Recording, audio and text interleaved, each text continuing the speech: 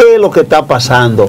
¿Habrá o no habrá juicio político para los miembros de la Cámara de Cuentas? Debe haber juicio político. ¿Por qué, mi diputada? Se autodescalificaron todos. Lo primero es que cuando tú tienes eh, un, un, grupo de, de, de personas que deben trabajar colegiados y no se entienden ya ahí inmediatamente se descalifican. Lo primero es que esa Cámara de Cuentas, si ellos entienden que nosotros queremos una Cámara de Cuentas nuestra, hay que preguntarse de quién es la Cámara de Cuentas. Ay. Cuando a esas personas se les revisan los currículum, es muy obvio su, su procedencia política eh, dos de un partido político y otro de otro que se pusieron de, de acuerdo. Pero eso no es lo malo, de, de la Fuerza partido? del Pueblo y del PLD. Eh, al final, si hubo una repartición, entonces el gobierno quedó en menos y, y, no se pudo hacer nada. Esto da el traste con decir que no basta que tú busques personas eh, independientes de tu partido político para que ejerzan una función en el Estado como deben ejercerlo. Si ellos no entienden el compromiso que tienen en las manos,